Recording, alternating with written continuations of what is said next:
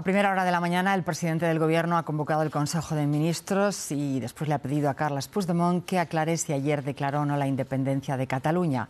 Después, por la tarde, en el Congreso, el presidente del Gobierno ha limitado el diálogo con el presidente de la Generalitat a la financiación y el autogobierno. Este es el requerimiento que el Gobierno ha enviado al presidente de la Generalitat, a Carles Puigdemont, para que confirme si ayer alguna autoridad de la Generalitat de Cataluña declaró la independencia. En ese requerimiento se da un plazo de cinco días a Carles Puigdemont para que conteste. Si la respuesta es que sí hubo declaración de independencia, debe rectificar antes del jueves. De lo contrario, Almudena Guerrero, vamos a empezar contigo, se aplicará el artículo 155. Sí, dos fechas clave, lunes 16, jueves 19, las dos peticiones, los dos plazos concluyen a las 10 de la mañana. Ultimátum del Gobierno que el presidente de la Generalitat ha recibido esta misma tarde, también va dirigido a la presidenta del Parlamento. Rajoy espera y desea, lo ha repetido aquí en el Congreso varias veces, que Carles Puigdemont no se equivoque en la respuesta. Es importante, dice, para recuperar la convivencia, la normalidad institucional. El presidente agradece el apoyo del PSOE y Ciudadanos insiste en que su Gobierno, con el artículo 155 va a defender la unidad de España y el bienestar de todos los catalanes. Deseo fervientemente que acierte en su respuesta. En su mano está volver a la legalidad y restablecer la normalidad institucional, como todo el mundo le está pidiendo, o prolongar un periodo de inestabilidad, tensiones y quiebra de la convivencia en Cataluña. Los numerosos mediadores que durante estos días se han ofrecido, la mayor parte de ellos con buena intención para colaborar en buscar una salida a esta situación. No puedo más que agradecer su preocupación y su interés, pero no hay mediación posible entre la ley democrática y la desobediencia o la ilegalidad. Y la realidad, la implacable realidad, señorías, ha desmontado de un plumazo todas las falsedades sobre las que se había cimentado el mito de una independencia de cuento de hadas. En su turno, los portavoces de los diferentes grupos parlamentarios no se han salido del guion, mantienen sus posturas. Lo que sí hemos notado es un clima menos tenso que en los anteriores debates aquí en el Congreso sobre Cataluña. El presidente del Gobierno se lleva el respaldo del PSOE y de Ciudadanos. Los socialistas le piden autocrítica y reiteran la necesidad de reformar la Constitución. Rivera quiere que convoque elecciones en Cataluña. Rajoy también se lleva el reproche de Unidos Podemos y de los independentistas que insisten en que la solución pasa por mediación y diálogo. Iglesias acusa al presidente del Gobierno de ser el único que rompe España. Esquerra Republicana advierte que no van a dar un paso atrás. El PSOE rechaza la mediación, se reivindica como partido de Estado, invita a Puigdemont a defender el proceso independentista en el Congreso y ve imprescindible una reforma de la Constitución. Porque esta Constitución que tenemos ha demostrado que es el verdadero marco de convivencia, un marco de convivencia en el que caben todos. No necesitamos más mediadores que nosotros, que somos los representantes de la soberanía popular. Iglesias advierte a Rajoy de que desconfíe de Rivera por ser, dice el principal operador político de Aznar. Podemos es crítico con el gobierno, al que pide que reconozca la plurinacionalidad del Estado.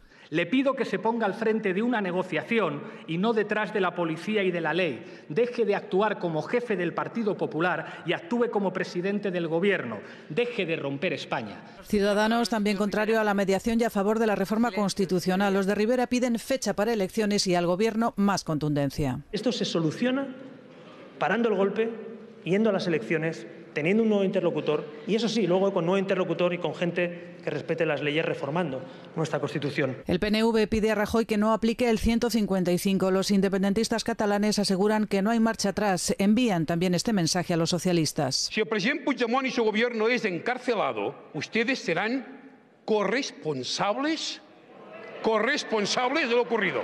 Aproveche esta oportunidad que ayer le ofreció el presidente Puigdemont.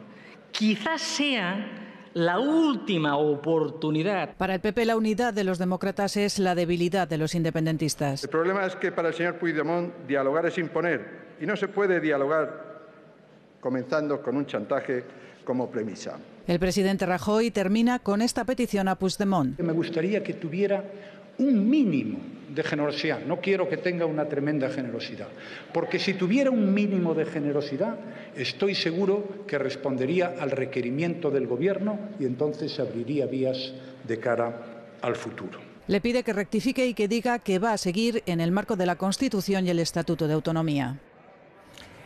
El Senado es una pieza fundamental en caso de que el Gobierno aplique finalmente el artículo 155 de la Constitución. La Cámara Alta es la que tiene que autorizar al Gobierno, Ana Rosa Berraquero, a tomar esa medida. La aplicación del artículo 155 ha sido el tema más comentado hoy aquí en los pasillos del Senado. De hecho, hemos visto a algunos senadores echar mano del reglamento para refrescar la memoria. Todos coinciden en que no es algo ni tan sencillo ni tan rápido como puede parecer a simple vista. Recuerdan que primero Rajoy tiene que decir qué medidas quiere aplicar, se tienen que debatir, Puigdemont puede presentar alegaciones y ya finalmente se votaría. No nos dan plazos ni fechas concretas, pero sí están hablando de trámites que puede durar varios días. Solo hay un precedente y es de 1989. Felipe González envió un requerimiento a Canarias para que cumpliera con sus obligaciones fiscales. En aquel caso, las islas dieron marcha atrás y todo quedó en una simple advertencia. Ahora está por verse qué pasa con Carlas Puigdemont. El artículo 155 de la Constitución permite al Gobierno, previa autorización del Senado, adoptar las medidas necesarias para obligar a una comunidad autónoma al cumplimiento forzoso de sus obligaciones constitucionales. El primer paso para aplicarlo es el que acaba de dar Rajoy, enviar un requerimiento al responsable regional, en este caso a Puigdemont. Le pide dos cosas, que aclare hasta el lunes que viene a las 10 de la mañana si ha declarado la independencia en Cataluña. En caso afirmativo, le requiere que dé marcha atrás. Para ello tiene hasta las 10 del próximo jueves. Si el presidente de la Generalitat no cumple o simplemente no contesta, el jefe del Ejecutivo acudiría al Senado. Tendría que justificar ante la Cámara Alta el rechazo de Puigdemont a cumplir la ley y por escrito proponer las medidas que quiere aplicar. Las posibilidades van desde el control de las finanzas o la destitución de cargos de la Administración hasta la disolución del Parlamento Autonómico. Las propuestas las analizaría la Comisión de Comunidades Autónomas. El presidente de la Generalitat podría presentar alegaciones. La propuesta final se votaría en un pleno en el que necesita la mayoría absoluta de la Cámara para que salga adelante, algo que tiene asegurado el Partido Popular. La Generalitat ya ha confirmado que ha recibido el requerimiento enviado por el Gobierno, aunque de momento no se ha pronunciado. En una entrevista en una televisión estadounidense, Carles Puigdemont se ha mostrado dispuesto Sara Rancaño a abrir un diálogo sin condiciones previas.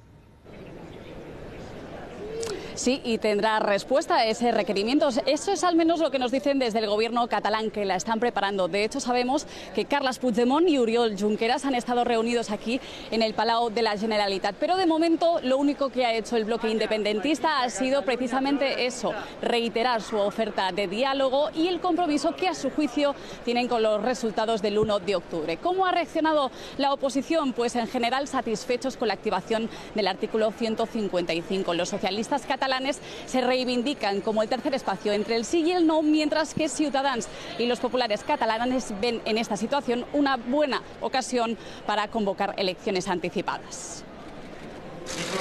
Puigdemont prepara la respuesta a las aclaraciones que Rajoy le pide. La declaración que firmó, pero que un rato antes anunciaba que quedaba suspendida, habla de la Constitución de la República Catalana como Estado independiente. La Generalitat espera que el Gobierno recoja su propuesta de diálogo y la presidenta del Parlamento advierte que aplicar el 155 sería contraproducente. Tiene que decidir si opta por el diálogo y por la mediación o si va seguir utilizando la represión como hasta ahora. La CUP acusa a Puigdemont de incumplir el pacto para declarar de manera unilateral la independencia y le emplaza a activarla si se aplica el 155. S'aprovi ja o es proclami ja, no? El PSC cree que la solución es votar un nuevo acuerdo que ofrezca más autogobierno a Cataluña. Cotes més àmplies d'autogovern, de llibertat i de progrés.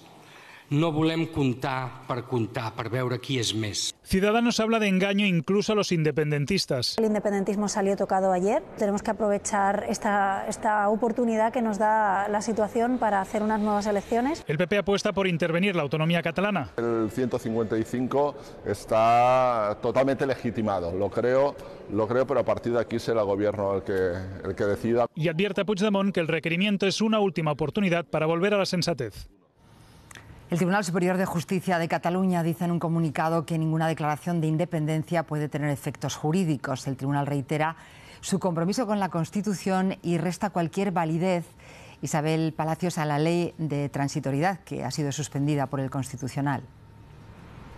Efectivamente, dice que ni la ley de transitoriedad suspendida por el Constitucional ni ninguna declaración de independencia formal o aformal, implícita o explícita, tienen ningún tipo de validez jurídica. Así lo ha manifestado la sala de gobierno de este tribunal después de una reunión extraordinaria del Pleno ante los últimos acontecimientos, dice, pero también y singularmente ante las declaraciones de ayer en el Parlamento catalán. Un tribunal que hoy ha admitido una nueva querella contra el gobierno catalán y la mesa del Parlamento que se acumula a las que ya se investigan. Precisamente una juez que lleva una, instruye una de estas causas, ha recibido el informe de los Mossos sobre el dispositivo del 1, del 1 de octubre, según informa la Policía Autonómica. Los Mossos insisten en que cumplieron con los requerimientos judiciales y en que la Guardia Civil y la Policía Nacional actuaron por su cuenta, dicen, sin respetar lo que se había acordado en las reuniones de coordinación de los tres cuerpos.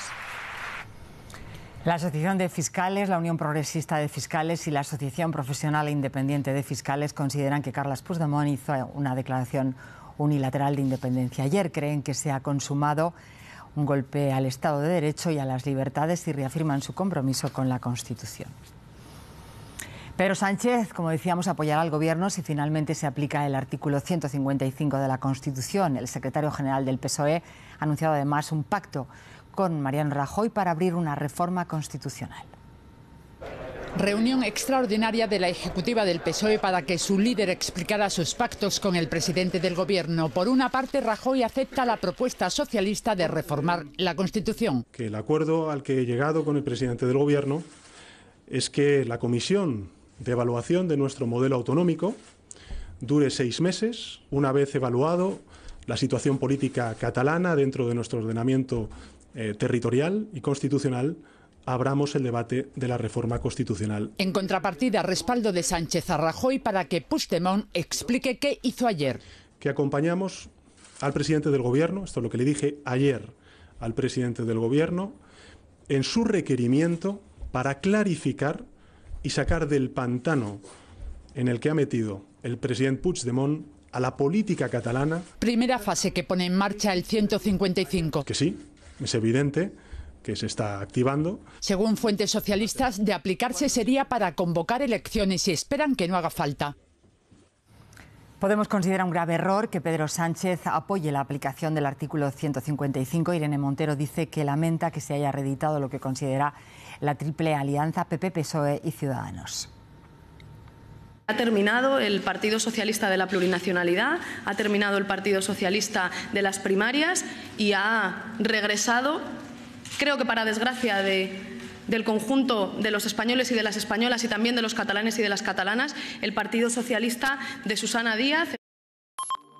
Y también en el Congreso, durante la sesión de control al Gobierno, un diputado del PDCAT, el partido de Carles Puigdemont, ha utilizado una portada del año 2012 de la revista The Economist como si fuera la que se publicó después de las cargas policiales del pasado 1 de octubre. Es una edición que habla de los recortes, que habló en su día de los recortes por la crisis.